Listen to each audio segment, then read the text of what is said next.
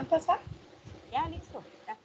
Listo, chicos. Entonces, el tema de, de, esta, de este taller es gestación y desarrollo del feto humano, el cual nos lleva al propósito que es que a partir de la apropiación y el conocimiento y la comprensión de la gestación y el desarrollo del feto, eh, vamos a, así también como lo de la procreación artificial asistida, el estudiante desarrolla las virtudes que le permiten buscar el bien para sí mismo en aras de mejorar el entorno social.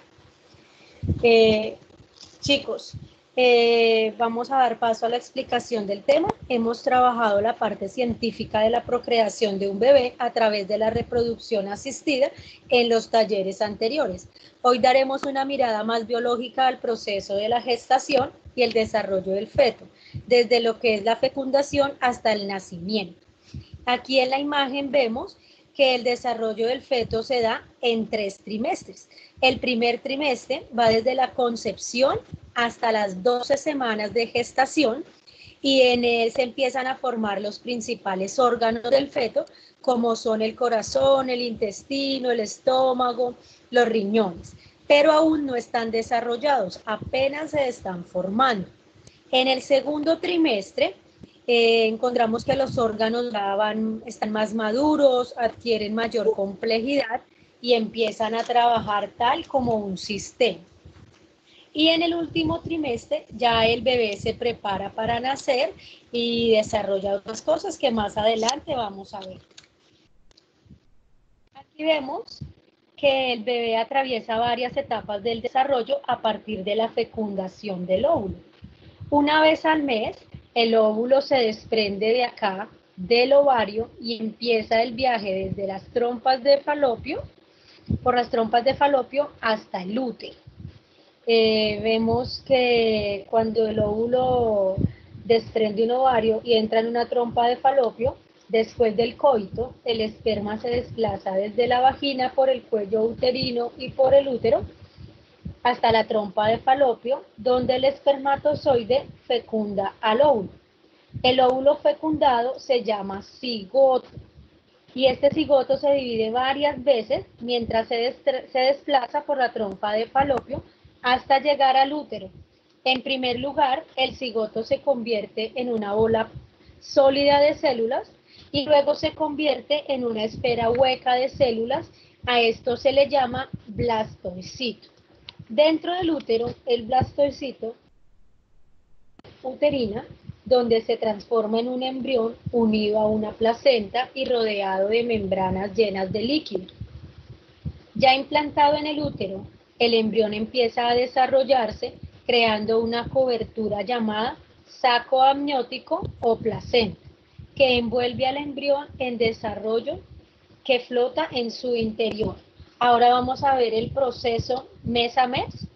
Vemos que durante el primer mes eh, vemos el tubo digestivo, la médula espinal, comienzan a desarrollarse, eh, las yemas o brotes de brazos y piernas se vuelven visibles, el cerebro se desarrolla y algunos nervios craneales son visibles, comienza el desarrollo de las estructuras del oído y del ojo.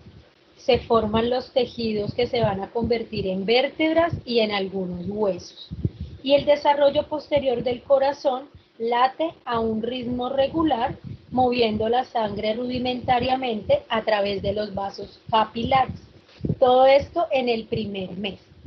En el segundo mes ya vemos que los párpados están un poco más desarrollados, las características externas del oído comienzan a formar, a tomar forma, se continúa el desarrollo de las características faciales, ya hay como una estructura de la cabecita, y los intestinos empiezan a el funcionamiento. En el tercer mes, eh, los párpados del feto se cierran y no se vuelven a abrir hasta la semana 28. La cara ya está bien formada, las extremidades empiezan a alargarse y se ven delgadas, los genitales aparecen diferenciados, por eso es que en esta etapa eh, se hace la primera ecografía. Los glóbulos rojos se reproducen en el hígado, El tamaño de la cabeza corresponde casi a la mitad del tamaño del feto y ya este puede empuñar los dedos. A los cuatro meses, el feto tiene una longitud craneal de 8 centímetros. Eh, ya puede ver que el feto mira los órganos externos en el ultrasonido. Comienza a crecer cabello. En los fetos de sexo masculino se empieza a desarrollar la próstata y en el sexo femenino los, em, los ovarios empiezan a bajar al abdomen, al área pélvica. Y ya está formado lo que es el paladar.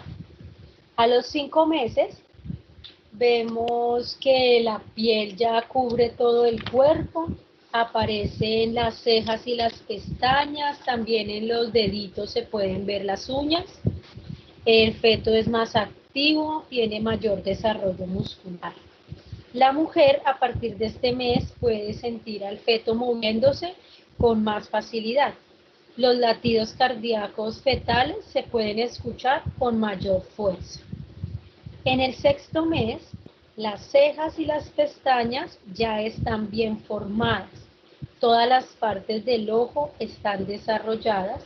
El feto presenta el reflejo prensil y de sobresalto. Eh, se comienzan a formar las huellas dactilares de, de los pies y de las manos. Y se forman los alveolos pulmonares. En el séptimo mes se, ve el desarrollo rápido del cerebro, el sistema nervioso está lo suficientemente desarrollado para controlar algunas funciones corporales, los párpados ya se abren y se cierran, el sistema respiratorio, aunque inmaduro, chicos, aunque inmaduro, empieza ya a permitir el intercambio gaseoso. Esto quiere decir que realiza este intercambio, o sea, está preparado para este intercambio, teniendo en cuenta que de pronto haya un nacimiento prematuro. Pero todavía ese sistema está apagadito porque no lo necesita. En el octavo mes se presenta un aumento rápido en la cantidad de grasa corporal, ya el bebé empieza a coger más forma, se presentan movimientos respiratorios rítmicos, pero los pulmones no están totalmente maduros. Los huesos están completamente desarrollados, pero aún son blandos y flexibles. El cuerpo del feto comienza a almacenar hierro, calcio y fósforo. A los nueve meses, ya vemos que el bebé, el anugo comienza a desaparecer, se presenta un aumento en la grasa corporal mayor, las uñas de las manos ya alcanzan las puntas de los dedos, eh, este lanugo que empieza a desaparecer, eh, desaparece del cuerpo, menos de los brazos y los hombros.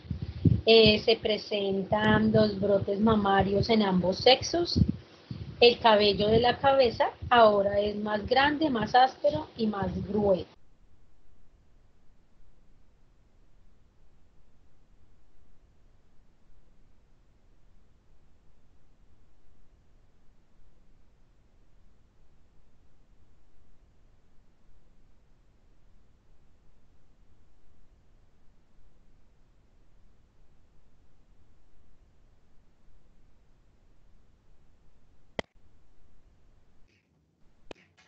Hola, Vivi. Se fue la imagen, profe. Hola, Vivi. ¿Me escucha? No, Un fue momento. mal. Yo, el micrófono, ustedes tengan Yo puedo ver la imagen. Gracias.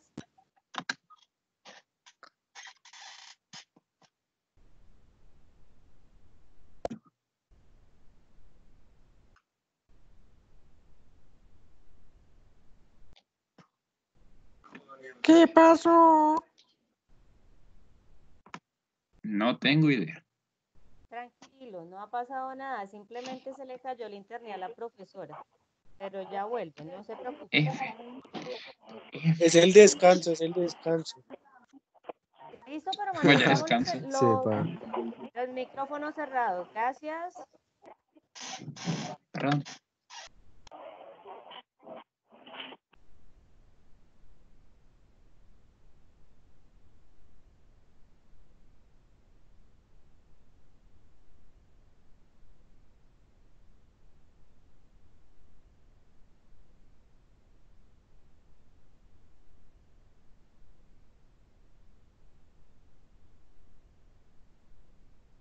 Por aquí está alguien haciendo una pregunta. Dice, profe, cuando el niño nace con alguna dificultad, ya sea física o mental, ¿por qué pasa eso?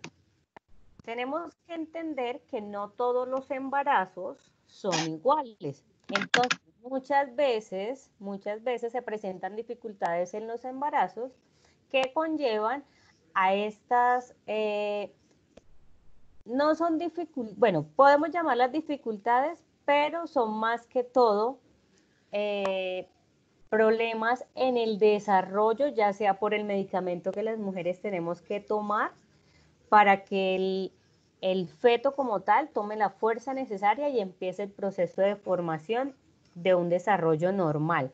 Por eso las mujeres, cuando sabemos que estamos embarazadas, automáticamente debemos dirigirnos donde el médico.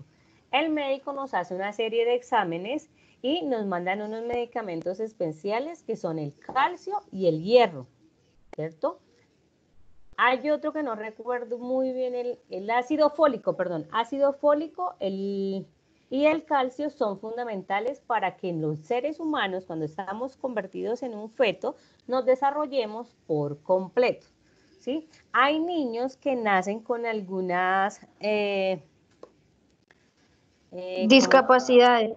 Exactamente, esa es la palabra, como con discapacidades. Les pongo un ejemplo, mi hija, Sofía, a los tres meses, yo, supe, yo supe yo supe que Sofi venía con labio y paladar hendido. Le pasa de 100 mujeres a 3. No hemos sabido si genéticamente hubo eh, algún compromiso por la genética de parte del papá o mía. Nos hicimos estudios, pero al parecer no. Entonces también hay cosas de, de casualidades de la vida que le puede pasar a alguno sin necesidad de ser algo genético. Profe, ¿estás ahí? Hola, Vivi. Sí, ya, ya llegué. Chicos, qué pena. Hola, ¿me escucha? Chicos. Sí, pero feo. Hola, ¿me escucha? Sí, te escucha. Sí, profe, ahí se escucha, ahí se escucha. Tranquilo, chicos, yo le informo que escucha. Ustedes silencien mi